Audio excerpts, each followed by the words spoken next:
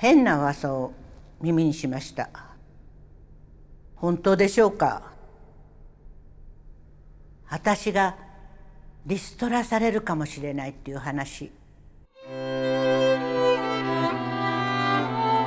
私憲法くんです。皆さんに頑張れと言われればまだまだ頑張ります。まだ70歳です。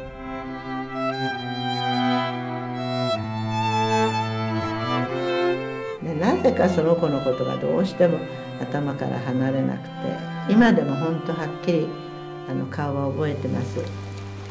原爆の死神よ。いくらなんでも一人ぐらい見逃したらどうだ？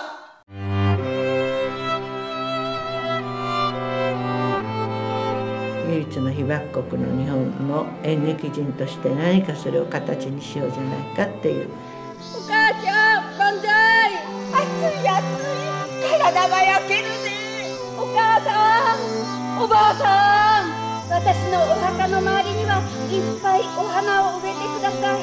もう一度元気になって学校へ行きたいあの子たちはね死んじゃったけど皆さんは生きてるんだから元気にね。元気に生きてってこれから。私は皆さんの私なんですから。皆さんに託しましたよ。